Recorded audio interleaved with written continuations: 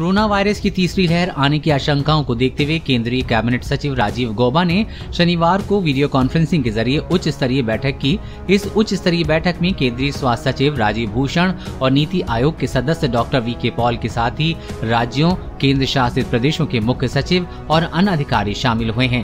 राजीव गौबा ने एक दिन पहले कोरोना वैक्सीन की ढाई करोड़ से अधिक डोज लगाए जाने के ऐतिहासिक उपलब्धि के लिए राज्यों और केंद्र शासित प्रदेशों को बधाई दी है। उन्होंने स्वास्थ्य कर्मियों मुख्य चिकित्सा अधिकारियों जिला अधिकारियों और राज्य स्वास्थ्य सचिवों को उनके प्रयासों के लिए बधाई दी है और ये उम्मीद जताई है कि डोज की उपलब्धता बढ़ेगी और वैक्सीनेशन की गति बरकरार रहेगी। राजीव गौबा ने साथ ही राज्यों को यह हिदायत दी है कि कोरोना प्रोटोकॉल लागू किया जाए।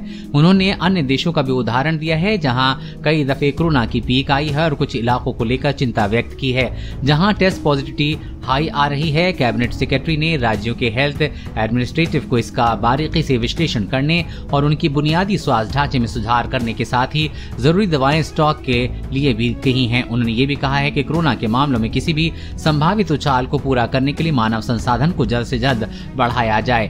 वहीं स्वास्थ्य सचिव ने राज्यों और केंद्र शासित प्रदेशों के 70 जिलों को चिंता का कारण बताया। उन्होंने कहा कि इनमें से चौतीस जिलों में पॉजिटिविटी रेट दस फ़ीसदी से अधिक है। त्योहारों के मौसम में कोविड प्रोटोकॉल और इसके अनुरूप व्यवहार का अनुपालन अनिवार्य रूप से किया जाना चाहिए। स्वास्थ्य सचिव ने राज्यों और केंद्र शासित प्रदेश के अधिकारियों से टेस्टिंग, ट्रेसिंग, ट्रीटमेंट और कोरोना के अनुरूप व्यवहार पर ज़ोर देने के लिए कहा है। स्वास्थ्य सचिव ने डेंगू पर भी चर्चा की है। केंद्रीय कैबिनेट सेक्रेटरी की मीटिंग में केंद्रीय स्वास्थ्य सचिव ने 11 राज्यों में सामने आए सीरोटाइप टू डेंगू को लेकर चर्चा की। उन्होंने इसे बीमारी के दूसरे रूप में ज़्यादा जटिल बताया है और सुझाव दिया है की राज्य इससे निपटने के लिए ज़रूरी कदम उठाए।